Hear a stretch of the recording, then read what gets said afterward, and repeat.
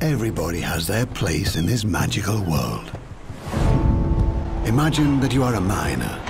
You are gathering ore in the mountains to supply your guild with precious resources.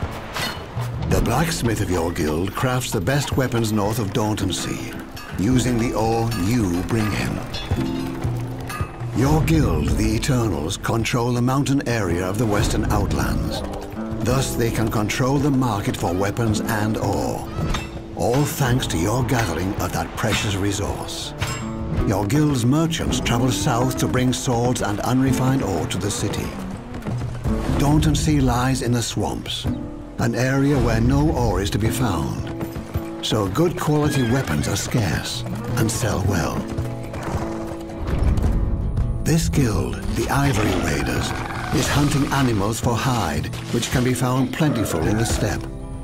This is also home to ancient animals, rarely to find in Albion. The guild then sells their precious loot in the city.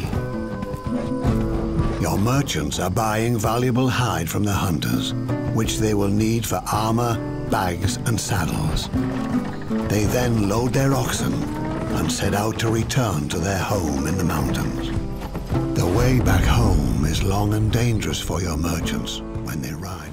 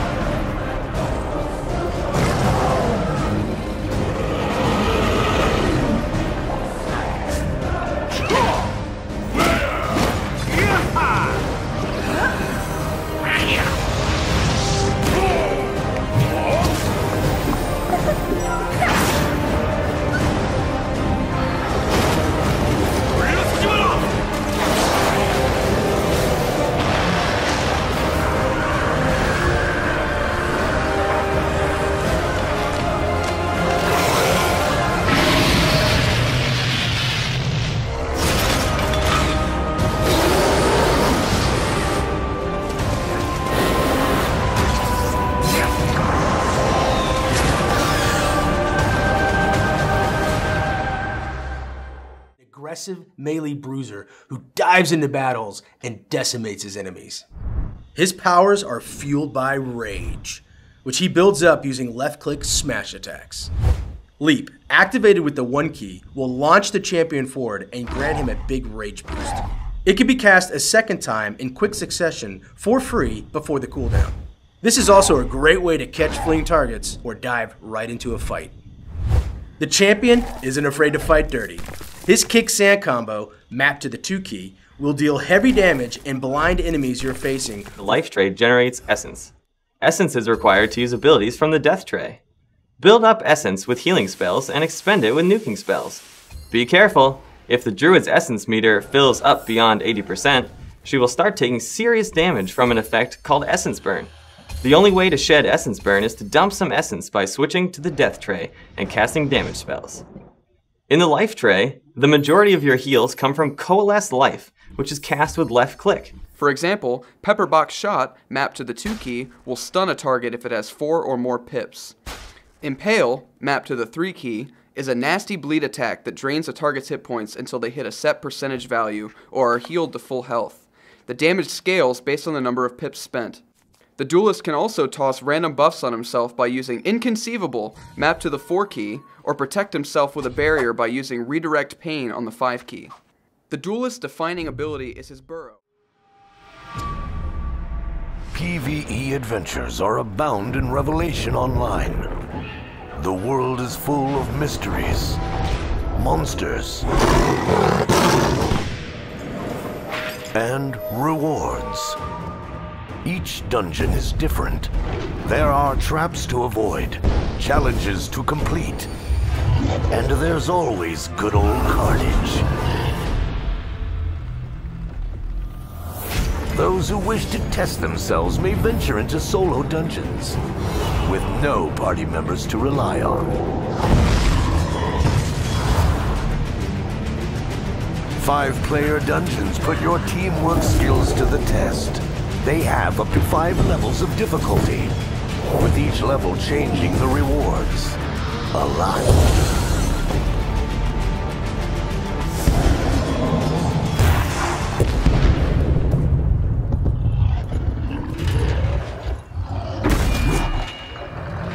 Six mighty bosses roam the open world. Entire guilds battle each other just for the right to engage one of these bosses.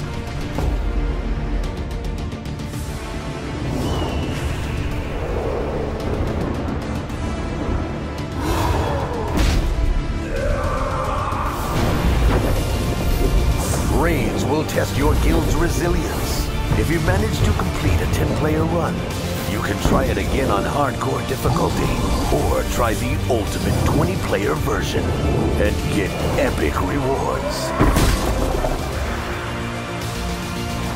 The world of Revelation Online has much to offer to every kind of hero, whether they seek adventure, challenge, fame,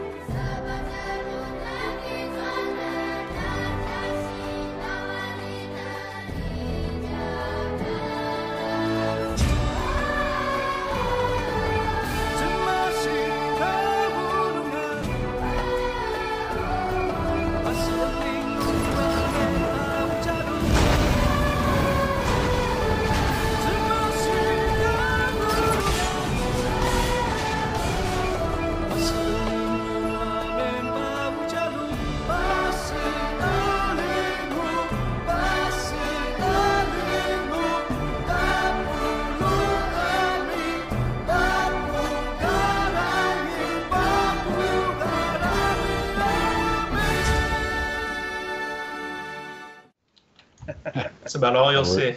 About it. It's really Not too handy when you're a healer and you're sort of lost. hmm Orient yourself on the person real quick. Oh, we're climbing up here. I'm getting mesmerized by the view. Are those two uh, on the platform above going to attack when we walk by? Let's find out. If not, they're not doing their job. Uh, That's oh, right. there are some guys right here. We definitely want eventually to have functionality for archers and actual guards that observe from up high and can shoot down. Make uh, little passes like that more treacherous. Nice.